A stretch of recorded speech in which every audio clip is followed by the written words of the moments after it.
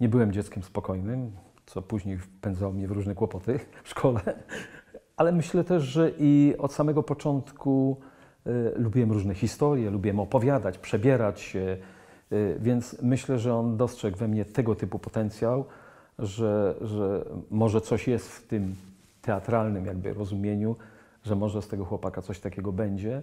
Y, Mój brat był moim przeciwieństwem, natomiast y, tak, ja byłem takim dzieckiem właśnie od, od teatru, od występów, tak.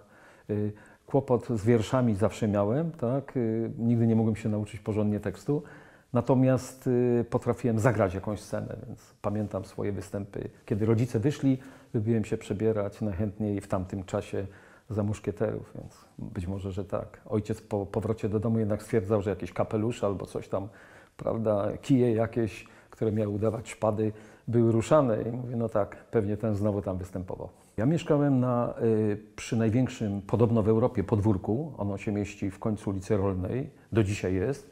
Ogromne, na tym podwórku były dwa wielkie place, y, do piłki, do palanta. Y, Jedna część chłopaków mieszka po jednej stronie, my po drugiej. Często prowadziliśmy idiotyczne walki na kamienie. I, ale ja przyznam się, że, że jakoś miałem dobry kontakt z kolegami. Zresztą myśmy stanowili w tamtych czasach, to było rzecz normalna, taką dobrą paczkę. I spotykaliśmy się oczywiście codziennie. E, W pewnym momencie nasza ulubiona gra poza palantem, piłką, to, były, to byli kolarze. Malowało się na, na, na taką trasę tak? i każdy miał swój guzik. No i ścigaliśmy się, znaliśmy wszystkich oczywiście e, kolarzy, nazwiska, drużyny, a ja e, byłem wtedy znany jako sprawozdawca radiowy, tak, i ciągle mówię halo, halo, halo, tu, tak był kiedyś taki słynny Bogdan Tuszyński, Tomaszewski oczywiście, halo, halo, tu helikopter, tam z trasy e, wyścigu pokoju, tak, no ja udawałem, zawsze jak wracałem do domu, to matka mi mówiła, znowu cię wszyscy słyszeli, tak, no tak, tak jakoś było. No ale jak poszedłeś do szkoły baletowej, to już czasu na kumpli nie było ani na podwórku. Mhm. Poza oczywiście wakacjami, tak, ale rzeczywiście tego czasu było mniej i, y, i te nasze kontakty oczywiście się zrywały. Y, No i, i, i rzeczywiście w pewnym momencie słyszałem, o, baleciarz idzie, tak, albo a, tam. No nie było jeszcze wtedy takiego powiedzenia facet w rajtuzach, tak, ale, ale pewnie coś takiego, tak. Y, Więc nawet pamiętam, że, że chcieli mnie do jakiegoś takiego samorządu y, młodzieży jakieś na tym podwórku i napisałem o uczeń OSB. I facet pyta, a co to jest OSB? I ja już chcąc uniknąć komentarzy, ogó- ogólnokształcąca szkoła budowlana, tak? Tak aha, budowlana, okej, dobra, przyda nam się ktoś taki, tak? No i byłem tam jakimś w zarządzie te, tego towarzystwa. A wystarczyłoby, żeby spojrzał na Twoje ręce, że to nie są ręce, które cegły nosiły. No właśnie, może nie spojrzał jednak. Wilda, bardzo specyficzna dzielnica y, w kontekście także tego czasu, w którym y, Ty tam dorastasz. W 56 roku miałeś 6 lat dopiero, Tak. ale z całą pewnością pamiętasz Pamiętam, tak, tak. Pamiętam niedzielę, kiedy już wszystko się uspokoiło i poszedłem, z, y, chyba pierwszą niedzielę, bo to był czwartek, zdaje się, piątek, sobota, w niedzielę już było spokojnie i pamiętam, że poszedłem z bratem, z ojcem, z matką i, i pamiętam do dzisiaj przy Kochanowskiego, tam były ślady po kulach, tak. Zresztą mieszkając na, na Rolnej, mieliśmy po drugiej stronie y, koszary wojskowe, tak, i widzieliśmy jak, jak nie tylko, że wyjeżdżają stamtąd e, jakieś oddziały, samochody, ale też na samej górze były takie obserwatorium jakby, tak? Widzieliśmy żołnierzy z lornetkami, więc, więc coś się działo. Nie, nie bardzo oczywiście rozumiałem co. Y, Wiem, że mówiono nam, zresztą później trudno było skonfrontować, czy te wiadomości ja już wiem z późniejszego okresu, czy z tamtego, ale ten moment, kiedy idę z rodziną przy Kochanowskiego, tak, tak, to pamiętam dokładnie. Ale z całą pewnością lepiej pamiętasz rok 68, bo wtedy masz już 18 lat. Tak. Jesteś już e, blisko końca szkoły e, i bardzo świadomie, myślę, przeżywasz to, co się dzieje wokół. Co się działo w Poznaniu w 68 roku? Czy cokolwiek się działo? Nie pamiętam tego. Pamiętam, znaczy pamiętam oczywiście informacje, ale bardziej już telewizyjne, tak, wiadomości. E, Bardziej zapamiętałem jakoś, ale to z kroniki chyba filmowej, wydarzenia w Paryżu, tak, y, te niepokoje młodzieży, studenci i tak dalej. Zresztą, e, prawdę mówiąc, to był taki okres, gdzie myśmy się już bardzo mocno interesowali muzyką rockową, dzieci kwiatów i tak dalej, więc, więc w zasadzie ta postawa buntu, tak, niezgody, ona była wpisana jakby w nasze życiorysy i, i y, i to bardziej nas mm, jakby, jakby interesowało, bo 68 mówimy oczywiście o Czechosłowacji, y, to no w zasadzie na początku nic przecież nie, nie było wiadomo, tak? Więc to był chyba sierpień, więc tylko y, ewentualnie informacje dotyczące. A, do, aha, bo już wiem do czego nawiązujemy. Tak, y, przemknęła mi jeszcze jedna data marcowa, y, więc tam to tylko stylizowane. Natomiast jeżeli chodzi o wydarzenia marcowe, oczywiście tak, myśmy rozmawiali, bo, bo przecież chodziło o dziady, tak, więc, więc tak, tak, więc to krążyło, ale y, y, ja zapamiętałem z tamtego okresu tylko jedną rzecz charakterystyczną, że daliśmy Ruskom popalić. Tak, że, że, że dziady, że Moskale, tak, że, że oni zabronili, bo za dużo, a przecież wszyscy wiedzieliśmy, że owa przyjaźń, no, no tak, ona jest na papierze, a przecież wiadomo było y, z naszych takich odczuć, że jak do, Rusek dostał w łeb, e, to było fajnie. Tak. Pamiętam zresztą najbardziej y, to się jakoś sprawdzało w sportowo, tak? no bo sportowo to była drużyna, hymn, flaga i tak dalej. I pamiętam wyścig pokoju, jak tam y, taki był kolarz Kegel. I on opowiadał, jak, jak w trakcie jazdy pompkę wyciągnął i walił Ruska i wszyscy byli strasznie zadowoleni, a tutaj ten aspekt polityczny, mniej, bo myśmy oczywiście nie wiedzieli o tych, o tych y, kulisach, ale, ale było wiadomo, że, że rosyjska ambasada tam protestowała, tak, że, że, że że coś jest nie tak, że to jest antysocjalistyczne, antyrodzickie i to bardzo się przebijało i myśmy na ten temat sporo, sporo rozmawiali. Cały mój świat to było środowisko szkolne oczywiście i z naszego środowiska właściwie chyba nie pamiętam, żeby ktoś zniknął. Więc tego typu doświadczeń nie mieliśmy. Oczywiście słyszeliśmy o tym, wiedzieliśmy. Pamiętam, niektóre rzeczy w przedziwny sposób się zachowują w pamięci, ale prze, pamiętam przemówienie Gomułki. Yy, który mówił coś o Jasienicy. To było słynne przemówienie w, w sali kongresowej. I to mi jakoś zostało e, w głowie. I, i pamiętam, że, że to dla mnie Gomułka był strasznym nudziarzem, tak? no bo nie, nie były to tematy, które, ale, ale pamiętam, że, że to jakoś musiałem oglądać, może z ojcem oglądałem, więc zostało mi to w głowie. Pamiętam, y, pamiętam, to była sobota, bo wtedy so, z reguły w soboty były egzaminy i pamiętam, komisję, y, pamiętam panią Wandę Jakowicką y, i pamiętam, co, o co mnie poprosili, o za, zaśpiewanie hymnu. Tak? I do dzisiaj pamiętam, że zamiast co nam obca wzię, wzię, wzięła, to nam zaśpiewałem, co nam owca. Tak? Pewnie z nerwów, tak, ale, ale to jest taki, taki to nie jest przypadek, tak? No jakoś trzeba zwrócić na siebie uwagę. Być może pomyśleli, no Gamon jest, hymnu nie zna, tak? Chociaż w dzisiejszych czasach niektórzy też nie znają, tak? Ale myślę, że może to zadecydowało, nie wiem. Z tym chceniem to różnie bywało, tak? Dlatego, że oczywiście na początek y, to jest tak, y, myślę, że to się powtarza y, w każdej grupie wiekowej, w pokoleniach, że trafia się do szkoły, której człowiek czuje się wyróżniony, bo to nie jest zwykła szkoła. Po pierwsze, trzeba się do niej dostać. Y, pamiętam do dzisiaj mój egzamin, mm, w związku z czym y, to był pierwszy taki egzamin. W tamtych czasach przecież nie było testów, egzaminów, tego wszystkiego, żyło się spokojniej.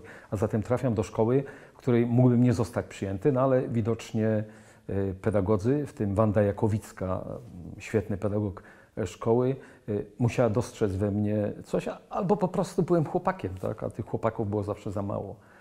Więc trafiam do szkoły i na początek, tak jak większość uczniów, a na pewno chłopców. Y, to wyciąganie nogi, naciąganie, wykręt, to nudy kompletne, tak? Więc rozumiem, że to jest straszna męczarnia. No w którymś momencie człowiek albo nie ma wyjścia, albo zaczyna to lubić. Tak naprawdę w pełni świadomie poczułem szkołę baletową dopiero po sześciu latach nauki.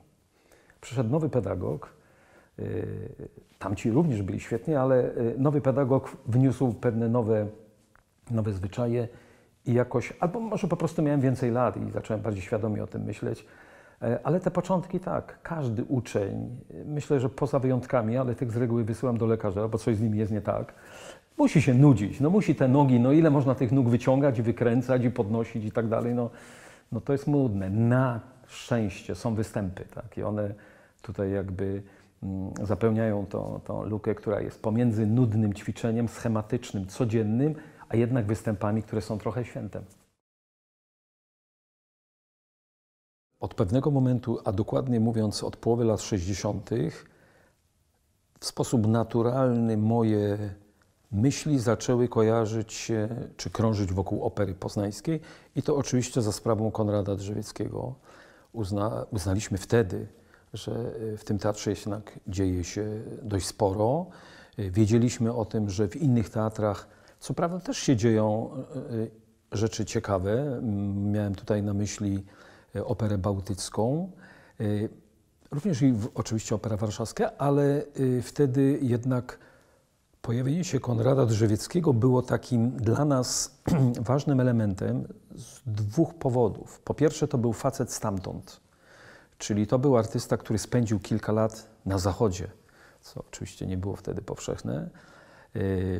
A po drugie, robił, przywiózł stamtąd coś. Wiemy o tym dobrze, że ten mit Zachodu, prawda, on funkcjonował cały czas, nie odnosił się tylko do, do sztuki, ale w ogóle do wszystkich rzeczy, czego najlepszym i dotykalnym takim przykładem były komisy, prawda, więc dzisiaj to już nie wiemy, co to są komisy, ale wtedy oczywiście one były ważne i, i, i były właśnie taką namiastką, tak, więc, ale wracając do spraw artystycznych, tak, Konrad Żywiecki zaczął robić spektakle, Pamiętam, byłem na próbie generalnej z kolegami yy, z klasy yy, i pamiętam, że był pokazywany Albinoni, Adagio yy, na smyczki organy i taki balet 4 do 4 Woźniaka. Oba niespecjalnie mi się podobały. Woźniak mi się nie podobał, bo był taki techniczny, chociaż ze względu na to, że był- tańczyła tam Teresa Kujawa, moja nauczycielka tańca charakterystyczna, fantastyczna nauczycielka, yy, no i oczywiście starsi koledzy, których podziwiałem, to on był za bardzo techniczny. Muzyka była taka trochę preparowana, więc trochę było dla mnie nudne. Natomiast Albinoni mnie o tyle zawiódł, że jako uczeń szkoły baletowej to ja chciałem, żeby, żeby tam na scenie kręcili, skakali, prawda? No to coś, co ja robiłem na co dzień, a tymczasem oni właściwie nie tańczyli, nie ruszali się, leżeli na podłodze. I wielokrotnie zastanawialiśmy, co by było z tym baletem, gdyby nie muzyka Albinoniego. Yy, I, i, I nawet sam mówię, czy ja chciałbym coś takiego, przecież to właściwie, aha, nawet pamiętam w przerwie, żeśmy go gorąco dyskutowali, to właściwie nie jest balet, tak, oni się tam podnoszą, dźwigają, tak, a przestrzeni nie ma, tak, no i no dobra, no okej, no niech tam będzie coś nowego, tak, fajnie. Yy, dopiero później na to oczywiście spojrzałem, ale to nie było tak do końca, tak. Więc, więc te moje pierwsze spotkania, aczkolwiek doceniałem, że to jest co innego, to jednak jako uczeń szkoły baletowej, ja się, jak zresztą wszyscy, kręciliśmy się wokół tych wykonawczych problemów, a tu takich, takich problemów właściwie nie było. E, Śmieszne, bo później to już właśnie ten balet znałem na pamięć, próbując go dziesiątki razy, tak, i doceniając też jego oryginalność. Coraz bardziej wyobrażałem sobie, że będę tancerzem teatru opery poznańskiej wtedy, tak, ale jednocześnie, jak już, no i a, jak zacząłem chodzić do, do teatru i brać udział w spektaklach. E, Pierwsze moje spotkanie to było z panią Baduszkową, która przygotowywała Orfeusza w piekle. Choreografię robiła Teresa Kujawa i tam mieliśmy robić takie, e, takie e, przejście jakichś uczniów, tak? no, ale szybko mnie przerzucono do, do zespołu baletowego. Już zacząłem tańczyć z kolegami z zespołu baletowego, e, a później przyszło to, co, na czym nam najbardziej zależało, czyli Konrad nas, że tak powiem, zaangażował. E, No i to było wielkie przeżycie, tak? nie tylko dlatego, że mogłem stanąć obok kolegów, obok Olgi e, Sawickiej, która była wtedy absolutnie pierwszą gwiazdą, obok Romy Juszkat, Wiesława Kościelaka, Przemka Śliwy, e, więc to już było dla mnie ogromne wyróżnienie i wtedy ten bakcyl teatralny, który musi połknąć każdego. To się nie da tak, żeby, żeby go nie połknął. Mnie połknął w całości. No i oczywiście to bieganie do teatru na próby, e, no i fantastyczny przede wszystkim pretekst. Zawsze mogłem wyjść z domu, tak, bo mówiłem w domu, że idę na próbę i, no i oczywiście rodzice mi wierzyli, tak, a ja bardzo często, jak nie było próby, byłem zapalonym kinomanem, więc spędzałem w kinie dużo czasu, tak, co było dla mnie ciekawsze niż czytanie lektur. E, Więc patrzę pobłażliwym okiem, kiedy uczniowie mówią, że lektury to nudy i po cichu przyznaję im rację. Ale wtedy biegałem do teatru i rzeczywiście y, ten świat pochłaniał mnie coraz bardziej. No i jednocześnie widziałem wszystkie pozytywy i negatywy tego, tak. Więc, więc Konrad Drzewiecki wydawał nam się wtedy uczniom jako człowiek. Zresztą takie były czasy i właściwie taki był model postępowania agresywnym repetitorem, tak? czyli on próbował w sposób taki no, czasem brutalny, tak? Czuliśmy to jako młodzi ludzie, tak, troszkę oglądający świat biało-czarny, tak, a tutaj nagle ten szef, tak, a on tam wcale nie, ze słowami się nie, nie, nie ogranicza tak, i potrafił powiedzieć mocno. Ale to był ten świat, który ja już widziałem, że to jest mój, tak, że to absolutnie ja będę chciał tańczyć i, i być, i, i scena, i światła, i, i próby, prawda, i, więc I co? I nie balet klasyczny, tylko taniec współczesny? Właśnie, właśnie tutaj nastąpiły dwie rzeczy, których do końca nie rozumiem. Oczywiście nie balet klasyczny, tak. W coraz większym stopniu, kiedy się wchodziło w estetykę i myślenie Konrada Czewieckiego, słuchało się go na próbach, tym ta klasyka wydawała mi się rzeczywiście archaiczna i no, niech sobie ci Rosjanie tańczą, tak, może ktoś inny, ale my tutaj to prekursorzy, tak, będziemy się zajmować czymś innym. I druga rzecz, że kiedy już przyszedł, przyszło do decyzji, to ja się wcale nie zdecydowałem na operę. Konrad był na mnie wściekły. Yy, No ale na pierwsze moje argumenty powiedział OK, czyli że pojadę na studia do Moskwy. Ale przedtem ja byłem w Śląsku i w Mazowszu i się dostałem tam. Ale zapowiedziałem im od razu, że, że mam też propozycję wyjazdu na studia i jeszcze nie wiadomo. Czyli opera nie była wtedy pierwszym moim wyborem. To dziwne, nie wiem dlaczego, ale podejrzewam, że myśląc o Śląsku i o Mazowszu, ja myślałem przede wszystkim o podróżach, o świecie, o zwiedzaniu, tak. Yy, mimo, że opera poznańska była chyba wtedy jedynym może zespołem baletowym, który w ogóle wyjeżdżał za granicę, tak? więc, więc jakby od tej strony no mogłem się czuć, yy, że, że, że jak wejdę do tego zespołu, no to też będę wyjeżdżał, ale pewnie Śląsk i Mazowsze pochłonął mnie bardziej, że oni ciągle wyjeżdżają, jak jadą tam, prawda, no to trzy miesiące Ameryka, tak, no, ja już widziałem siebie w Chicago, w Nowym Jorku, prawda, na Piątej Alei, tak, sobie chodzę, tak. więc e, pewnie, na przykład, tak, więc, więc, więc Ale- pewnie tak. Ale to jest rzeczywiście bardzo dziwna decyzja, którą podjąłeś, dlatego że no, kariera tancerza trwa krótko. Jeżeli ten tancerz u Tak. progu swojego życia zawodowego postanawia iść na studia, to właściwie wyklucza się, wyklucza siebie z tego zespołu tańczącego. Nie do końca. Tak, tak w zasadzie jest, ale wtedy y, nie do końca, dlatego że pierwsi absolwenci szkoły baletowej poznańskiej, którzy pojechali na zagranicę, oni pojechali do, wtedy do Leningradu, y, to była e, Danuta Piasecka i Jarosław Piasecki i oni jak powrócili, to oni tańczyli w Operze Warszawskiej, więc raczej to była szansa na to, że aha, my się tam jeszcze podszkolimy, tak? jeszcze, jeszcze, jeszcze będziemy lepsi. Tak? Y, I ja tak rzeczywiście też myślałem, ale po trzech, czterech latach oglądania fantastycznych tancerzy, ale nie tylko z teatru Bolszoi, których widzieliśmy oczywiście na co dzień, nie tylko na spektaklach, ale na próbach, ale oglądania wtedy najlepszych w ogóle zespołów, bo tam przyjeżdżał i Paryż, i Nowy Jork, tak, i, i, i Szwedzi przyjeżdżali, więc ja oglądałem tam najlepsze zespoły baletowe, jakie mogły być i to w, nie tylko w klasycznym, bardziej w klasyczno-nowoczesnym repertuarze uznałem, że nie wiem, tak, to jest taka, taka była młodzieńcza pewnie. Nie, no ja nie jestem taki dobry jak oni, to co ja tam będę. Ale w międzyczasie, i to była zasługa szkoły, coraz bardziej mnie interesowała choreografia i tworzenie spektakli. A mówię, że zasługą szkoły, dlatego że nie wiem dlaczego, ale dano mi w szkole, w czasach, kiedy takie rzeczy się nie spotykały, dali mi możliwość wyreżyserowania takiego spektaklu. Mój W której szkole? W naszy, w, mojej, znaczy w szkole baletowej. Tu, Tak, tak. Y, I w, nie wiem dlaczego, ale, ale dano mi taką szansę. Również i mojemu koledze z klasy, Jurkowi Bierczyńskiemu, który potem po różnych perypetiach wyleciał ze szkoły, potem poszedł do Warszawy, a potem założył w Krakowie istniejący ponad 30 lat zespół tańca nowoczesnego. Y, I jemu dali możliwość y, choreografowania, co w tamtych czasach to się w ogóle nie zdarzało. Tak? Nasi y, starsi koledzy, Emil Wesłowski, Jacek Solecki, Julek Stańca, oni nie dostali takiej możliwości, a nam dano. Jemu spektakl, a ja wyreżyserowałem taki, taki wieczór piosenek śpiewanych i tak dalej. Mm, Więc, więc coś udało nam się przejść na drugą barierę, na drugą stronę bariery. Dzisiaj my zachęcamy uczniów do choreografowania, do brania się za pomysły różne, ale wtedy nie. Ale po raz pierwszy stanęliśmy po drugiej stronie. Do tej pory byliśmy wykonawcami. Nauczyciel mówił, tam układał, prawda, i myśmy dokładnie powtarzali, a tu nagle o czymś mieliśmy zadecydować, wybrać muzykę, zrobić jakąś taką reżyserię, Więc być może, że to był początek tego, co mnie później zaczęło interesować i co uznałem, że to będzie dla mnie ciekawsze.